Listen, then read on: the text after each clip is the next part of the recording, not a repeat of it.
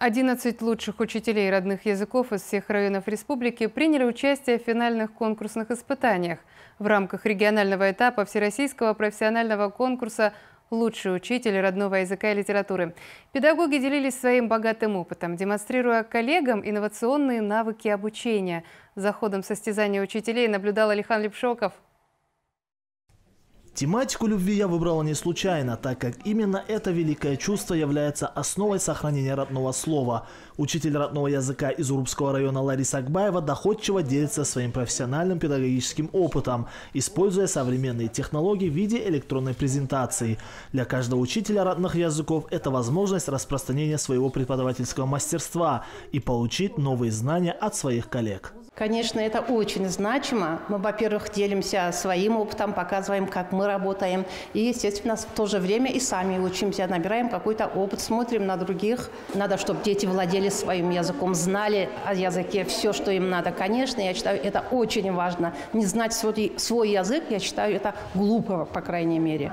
За ходом состязания следили представители Минобра республики. Заместитель министра образования Фатима Бекижева подчеркнула важность подобных состязаний для выявления профессионального мастерства и поддержки родных языков.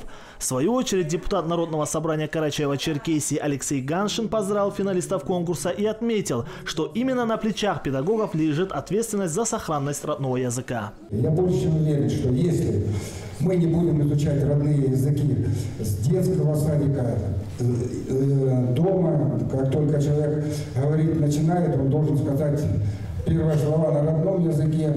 И, наверное, это будут самые дорогие и ценные слова. И если мы будем изучать родные языки дома, в детском садике, а потом только придем уже в школу, зная азы, э, умея хоть немножко читать, то тогда вам намного будет легче.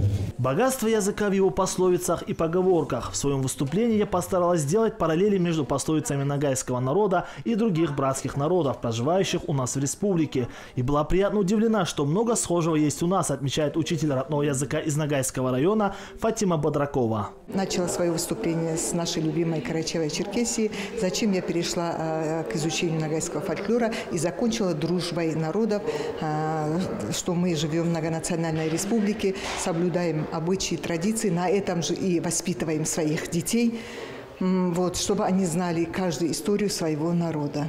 В итоге победителем конкурса стала участница из Абазинского района Ида Дахчукова. Второе место заняла учитель родного языка из Карачаевска Фатима Лайпанова. И третье место досталось Фатиме Бадраковой из Нагайского района. Осенью этого года победитель регионального этапа конкурса представит нашу республику уже в финале данного состязания. Алихан Эпшоков, Али Бастанов, Вести Карачаева-Черкесия.